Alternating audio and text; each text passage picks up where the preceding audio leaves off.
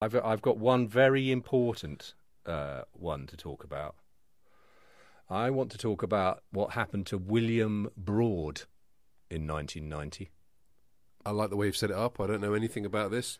Uh, William Broad. William Broad. He, of course, he changed his name, uh, and his name was Billy Idol.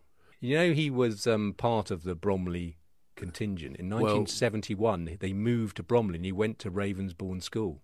Now, in 1990, I mean, he was His massive. band was he was massive X. in the 80s. His band was Generation X. Generation X, but then he went to America. Well, no, yeah, so but Generation X is mentioned in the book. as Yes, it is. So it can't be him. But Charlie in Charlie the is book very is much very much. Billy Idol. Yeah, very much. And then going to America and getting big, doing White Wedding and all Yeah, that kind of stuff. And Rebel Rebel Yell. Yell, all that. I mean, it's so Charlie. Yeah, it really is. It, has got to be. Yeah. Now, look, the, the only problem was that in 1990, he had a terrible motorbike crash. Oh, he did, yes.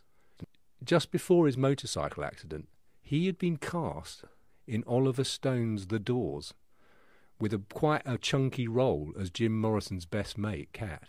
Oh, really? And it had the accident prevented him from participating, so his part was reduced to something next to nothing. He was left on the cutting room floor. Oh, my God. They rewrote the whole thing. But here's an even more ridiculous thing: Yeah.